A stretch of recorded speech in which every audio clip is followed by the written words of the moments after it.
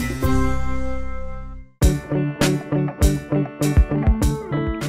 So there are a couple different ways to use bronzer, and here are some tips on how to use it properly. When it comes to bronzers, you can either choose matte or something with a little bit of shimmer. Uh, I actually have both. Today I'm gonna show you how to use First, how to use the shimmer with a stippling brush in a more natural way. So the stippling brush basically just dissipates the amount of uh, color that you're applying because it starts thick and then thins out at the top. So I'm gonna start by applying where sun would naturally hit the forehead, right up top here. This one has a really nice golden undertone. It's gonna give her just like a nice sun-kissed look, but not be too heavy. When I'm doing this look, it's definitely gonna be not so much for contouring, just more for uh, giving yourself a little bit of glow if you feel too pale or you just want a little more color. So I'm gonna do the tops of the cheekbone here. You don't want to go too far into this area. I'd say stop about here. And another rule of thumb is just kind of like two fingertips away. And I'm doing the top of the cheekbone because once again, like I said, at the top of the forehead, sun comes down and hits here. It also comes down and hits this part of the face here. And I'll also, for this kind of look, bronze the top of the nose.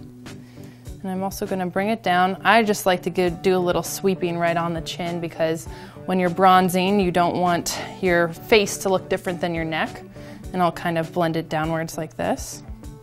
So this is really simple, just a little bit of color. You really don't want to use bronzer all over the entire face. It gets pretty monotonous and kind of dull. So using it in these couple directional areas, I like to think of making a three on the face or an E, just kind of like this. That's just a real simple tool and just a little tap on top of the nose. So the next trick is gonna be a little more for contouring. I'm using a matte bronzer and a brush that is tapered. So it goes a little bit thinner so I can really get that like nice contoured look here. So I'm gonna start at the cheekbone. Maddie, if you could just go perfect. If it's hard for you to tell where underneath the cheekbone is, you just kind of do this ugly little fishy face. but not that Maddie could ever look ugly. Here we go. All right, and you can relax. Thank you. So just kind of to get that first little tip. And it might look intense at first because I'm using such a pointed brush and also bronzer that's a little more concentrated in color but we're gonna blend it, so no worries. And also, it really makes the bronzer look more believable when you apply blush and highlighter. But right now, we're just focusing on the bronzer.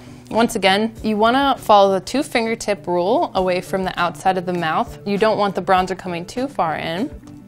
And with this type of bronzer, you definitely wanna make sure that you're blending. So the next tip I have is we're gonna go to the temple right about here. I'm gonna add a little bit of bronzer.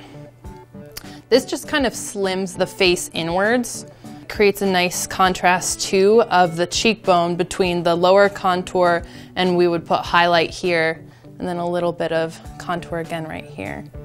Kind of brings it in this way.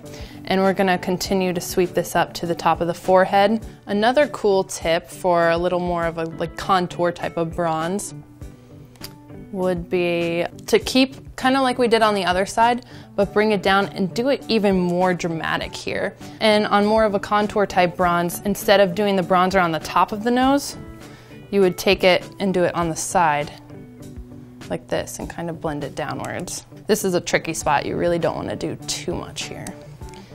All right, and that is how to bronze properly.